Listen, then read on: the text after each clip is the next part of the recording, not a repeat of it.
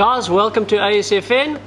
I get asked quite often what my go-to outfit is yeah in KZN and of course without a doubt it's my Daiwa Saltist Elite Heavy 15 foot. Uh, it's ideal for those fish that are 70 kilos and less. Um, it throws a 7 ounce sinker, a lovely mackerel bait, a country marl. Uh, paired with my Saltist uh, 6500 and 40 pound J braid, you can't go wrong. It's one of those outfits that you can use it for edible fish, and I'm talking shad, all the way up to 70 kilo sandies or diamonds.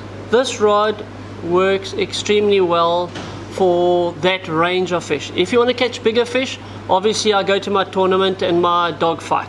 But guys, this is the outfit that I recommend you guys look at for the average fishing around KZN. There we go guys. Enjoy.